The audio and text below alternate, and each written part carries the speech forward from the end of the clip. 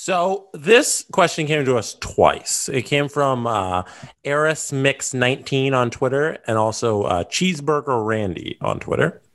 Okay. They think we should have our attention on Patrick Kane for the Hart Trophy right now.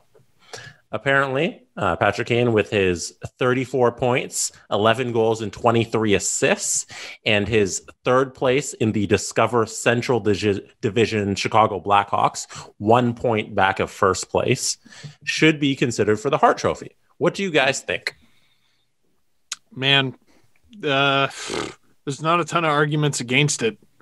I mean, he's not. It, it's not the best player in the league trophy it's the most valuable to his team. And, you know, we talk about Kevin Lankinen and what a great story he is for the Chicago Blackhawks. And, you know, I didn't think they'd have any goalie uh, goaltending coming into the season. They obviously got one. But forgotten with how good the Blackhawks are, they don't have Jonathan Toews. Hasn't played a game this season. I cannot believe they're doing this without Jonathan Toews. So, and I mean, DeBrincat's having a great season too. It's it's never a one man band, but uh, yeah, he's having one of those seasons right now.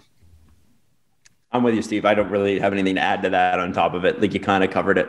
It's it's we, we each year we try to pick a team that that you, you think will surprise. Like I think I said Florida, Jesse said LA, Steve said San Jose. Adam, you said Nashville. I did say Nashville, didn't I? Bad pick. I mean, they Bad did pick. surprise. Mm-hmm. They so yes, yes. You. you. try to you try to have in hockey. You try to get a little like I'm gonna galaxy brain this one, but predictions are that for that reason. Um, I thought Chicago was just going to be a dumpster this year, and good for them. This has been a a very surprising and very cool thing, and and that's that's what makes for great stories in hockey. Let's see how far they can ride this. And it's not like everybody's like, well, you know, Hawks fans, they always get to uh, they always get to win or whatever. Well, they've they've run the organization pretty well. Um, as much as I've been critical of Stan Bowman and some of the moves he's made, so have Hawks fans. Um, I think I think this is fun. This is the unless the Hawks are playing you and they're beating you. this is the kind of story in hockey that you love to see. It's fun to watch.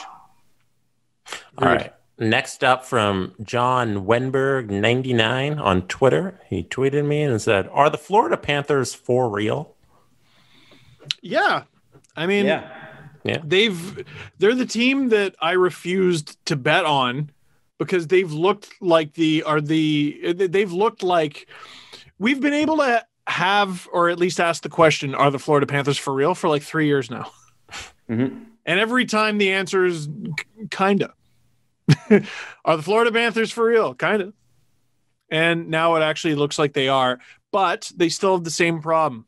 Again, like Jake Allen could take Montreal deep into the playoffs, it still won't be good that Carey Price is sitting behind Jake Allen. The Florida Panthers are doing incredibly well. It's still not good that Sergei Bobrovsky is sitting behind Chris Driedger. Yep. But yep. They're winning games. Who cares? The the interesting thing, Steve, I, I think too, when you look at the Florida Panthers, it is the way you felt about them this offseason is the way you're gonna feel about them next offseason, which is I don't fucking know, man. like I it's you know, like it's it, it you're like it look, look at the talent. Look at the talent. You think there has to be something. But we said that the last two years, and as you mentioned, hasn't been there. And the goal, you know, the big $10 million contract never helps. And so yeah, I mean they're they are they are for real this year. That's my asterisk though. They are for real this year. Right. Also, uh, like six, uh, sorry, seven, three, and two at home is very good. Six, one, and one on the road. I want to see if they can keep that up because that is stupid good. That's one of the best percentages uh, in the NHL. Although it's not as good as seven, one, and one, which is what the Leafs have, baby.